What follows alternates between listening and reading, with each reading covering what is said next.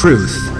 In 1771, the Dutch ship Frau Maria sank in stormy weather while carrying antique valuables and paintings bought by the order of Catherine the Great of Russia for the Hermitage collection. The ship was discovered at the bottom of the Baltic Sea after 238 years in 1999. Fiction.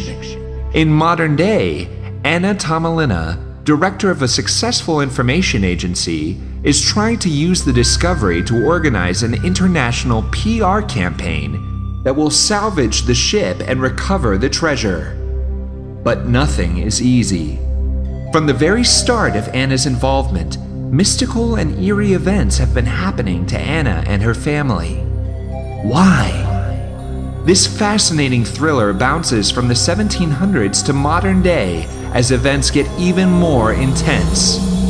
The ghosts of Anna Belle, a girl who lived in the 18th century, and her grandfather try to help the modern day Anna rescue the sunken ship's treasures.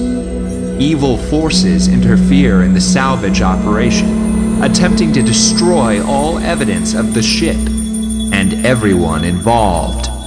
Only young Anna Belle is able to stand against the demon plotting against them and save the life of her beloved Count Andrei Shuvalov, with many other innocent lives. The face of evil has a name Baron Reficul. Spelled backwards, it's Baron Lucifer. Available at Amazon.com and other online retailers, as well as directly from the publisher.